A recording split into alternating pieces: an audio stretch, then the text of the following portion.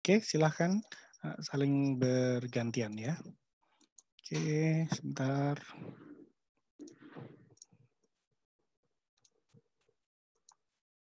Ya, silakan.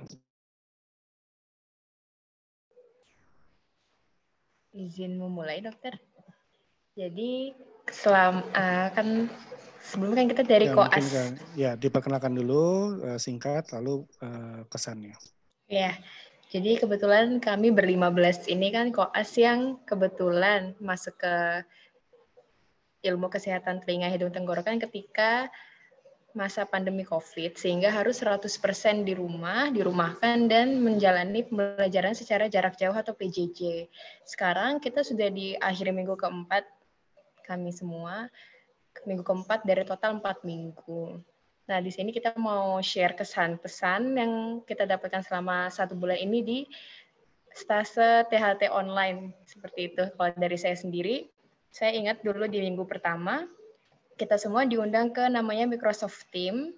Di sana yang paling menurut saya beda dibanding uh, stase lain adalah dibagi ada serentetan file sekitar belasan file gitu oleh dokter-dokter kami. Jadi kita semua tuh belajarnya kiblatnya satu arah gitu sama referensinya. Itu referensi minimal gitu. Jadi seenggaknya kita nggak ngeblind atau clueless harus belajar dari mana, nanti beda-beda atau gimana itu sih kalau dari saya untuk minggu pertama.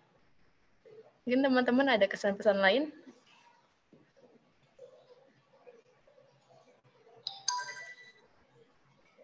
Oke, okay, uh, eh, makasih Aliska. Saya izin melanjutkan. Saya Salman Nurfadilah. Uh, saya mau menyampaikan kesan-pesan setelah uh, yang sesi kedua. Jadi tadi Aliska sudah menceritakan yang sesi pertama di sesi yang kedua ini uh, di setting uh, seolah-olah kita sudah siap karena kita sudah diisi dengan materi dari minggu pertama dan kedua, minggu ketiga dan keempat lebih banyak pembelajarannya berupa interaktif di mana kita diminta untuk membuat pertanyaan karena uh, untuk paham kemudian bisa menyusun pertanyaan adalah dua tahap pembelajaran yang berbeda dan itu sangat membantu kita juga uh, akhirnya bisa berpikir apa ya sekiranya yang penting untuk ditanyakan seperti itu. Ya. Izin melanjutkan dokter, saya Muhammad Fajar Sodik dari Koas uh, eh, PJJ yang THT periode ini juga. Uh, untuk menanggapi yang minggu ketiga sama keempat, selain diberi untuk uh, kita berpikir pertanyaan-pertanyaan apa yang kita tidak bisa, tapi kita juga dipaparkan oleh kasus-kasus uh, di mana kita juga bisa, oh seperti ini melihat kasus, kita bisa cara anam, uh, anamnesisnya seperti apa, kemudian kita diajarin juga dibiasakan untuk mendiagnosis banding dari suatu penyakit. Jadi kita tidak terpaku oleh satu diagnosis saja. Kemudian juga membahas sampai tata laksananya seperti itu. Ya, silahkan teman-teman yang lain. Uh, izin melanjutkan. Ya, uh, saya Nabila Dr. Fajar ini izin melanjutkan. Uh, kalau kesan-pesan saya selama PJJ THT ini, uh, saya merasa THT ini yang termasuk yang paling canggih dan paling modern ya untuk menjalankan uh, PJJ ini karena tadi dari yang teman-teman bilang ada yang uh, materinya udah disediakan kemudian juga uh, ada berbagai simulasi-simulasi yang membuat kita jadi lebih uh, terbiasa untuk pemeriksaan fisik dan analisis dan lain sebagainya. Saya itu juga uh, kayak tadi pas ujian juga kita uh, pakainya online gitu ya, OSCE online dan sebelumnya itu nggak ada stase-stase lain yang uh, OSCE-nya online, jadi baru THT aja. Jadi menurut saya termasuk yang canggih dan sangat modern. Mungkin dari teman-teman ada yang mau melanjutkan. Izin menambahkan juga dokter.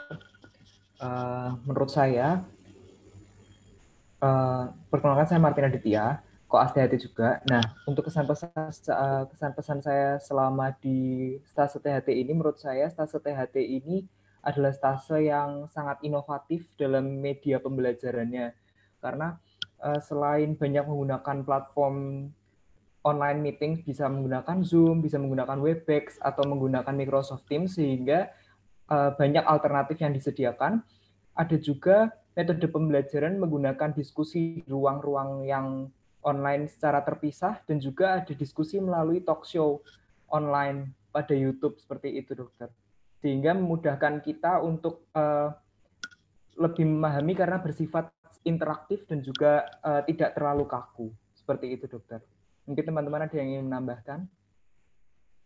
Uh, izin melanjutkan, saya Jessica, Koas THT. Menurut saya, PJJ THTKL ini merupakan PJJ yang paling high-tech.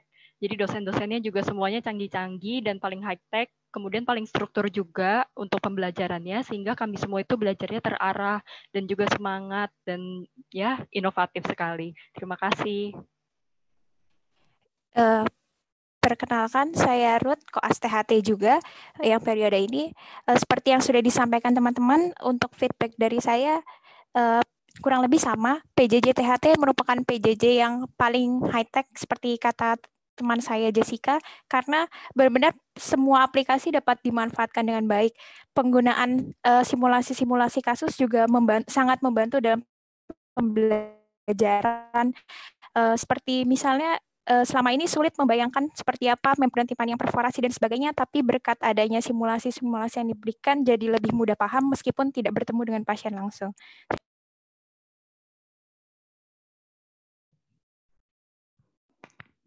Izin melanjutkan, dokter. Uh, perkenalkan, nama saya Mega Anggun Sylvia. Uh, menurut saya, stase PJJ ini, stase PJJ THT khususnya membuat kita menjadi lebih kreatif. Terutama kita satu mahasiswa dipaksa harus bisa membuat video yang tadinya kita nggak tahu gimana caranya ngedit. Sekarang akhirnya jadi tahu. Terus kita juga mau nggak mau uh, kita jadi bisa tahu caranya nge-host, ngalamin uh, feel-nya kayak gimana gitu. Dan itu harus giliran. Mantap. Terima kasih dokter. Mungkin teman-teman yang lain. Iya. dokter. Uh, izin menambahkan, uh, perkenalkan nama saya adalah Taras Putri Pertiwi. Saya adalah koas THT. Uh, eh, tidak lain dari teman-teman saya, uh, memang THT PJJ THT ini memang yang paling inovatif, teknologinya sangat tinggi dan bisa digunakan. Kemudian untuk diskusi kasusnya sendiri uh, memang sangat membantu walaupun kita tidak kebangsal. Jadi salah satu diskusi uh, untuk membandingkan diagnosis banding mana yang harus uh, dipahami seperti pilek beringus apa aja, kemudian hidung tersumbat apa aja itu sangat-sangat membantu dan sangat terarah. Jadi saya sangat senang dan sangat enjoy dengan uh, PJJ THT ini. Terima kasih. Baik, izin melanjutkan. Saya Mutiara, dokter ya, koas dari THT. Uh, hampir sama dengan yang lain, yaitu dari PJJ THT ini sangat inovatif, bisa menggunakan berbagai aplikasi dari Zoom, Webex, kemudian Microsoft Teams, kemudian juga dari YouTube, uh, lalu dari video-video juga uh, pada video YouTube THTKL juga uh, FK Undip juga sudah memperlihatkan pemeriksaan fisik yang sangat uh, baik sehingga kami walaupun tidak ke pasien langsung kami juga lebih paham. Kemudian juga ada uh, video tugas yang pemeriksaan fisik pun juga uh, walaupun tidak ke pasien juga lebih paham. Lalu ada pem, uh, diskusi kasus pun uh, juga uh, inov uh, bervariatif kasusnya sehingga uh, kami uh, paham uh, mengenai kompetensi-kompetensi uh, dari dokter umum pada bagian THT. Terima kasih.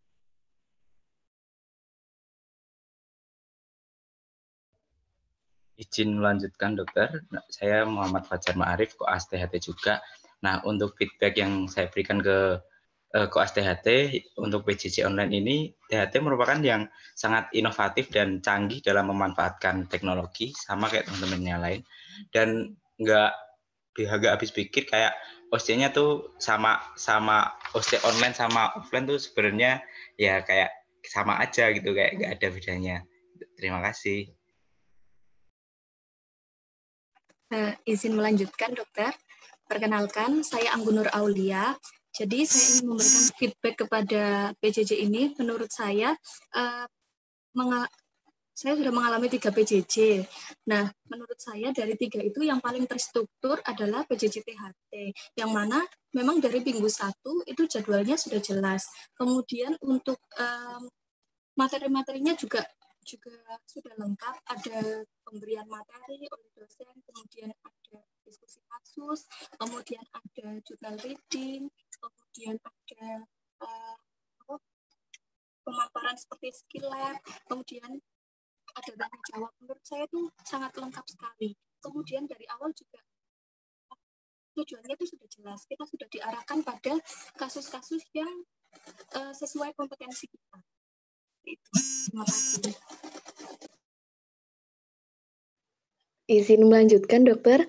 Uh, jadi perkenalkan, nama saya Chandra Farida. Saya juga koas PJJ THT periode ini. Uh, jadi menurut saya memang uh, seperti yang dikatakan teman-teman tadi, uh, PJJ THT ini adalah PJJ yang paling canggih dan juga paling inovatif. Uh, di mana kami juga apabila tidak bisa mengikuti kuliah-kuliah dari kloter sebelumnya, mungkin kuliah dari materi yang belum kami dapatkan di minggu yang kami ikuti, kami bisa melihatnya lagi secara langsung melalui akun YouTube dan juga channel YouTube yang disediakan oleh PJJ THTKL. Kemudian uh, kami juga bisa berlatih uh, kasus secara lebih mandiri dengan pembahasan-pembahasan kasus diskusi oleh dosen-dosen kami yang tidak hanya memaparkan materi tapi juga mengajak kita berdiskusi secara aktif. Uh, kita juga otomatis akan lebih bersemangat untuk mengikuti pembelajaran. Sekali lagi terima kasih untuk THT PJJ-nya sangat keren sekali. Ya. Izin melanjutkan, uh, saya